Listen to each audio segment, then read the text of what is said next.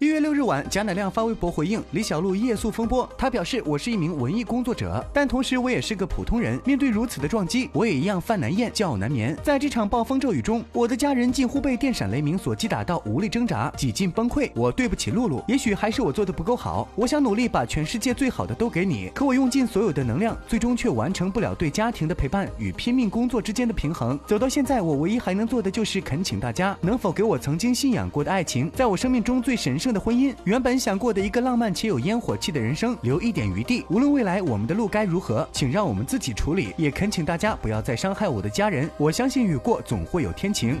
想获得更多独家娱乐资讯，欢迎关注优酷土豆娱乐微信公众号，微博搜索优酷娱乐全娱乐早八点，艾特更多八卦猛料，还有超多明星周边和签名福利等着你。据说长得好看的人都在关注哟。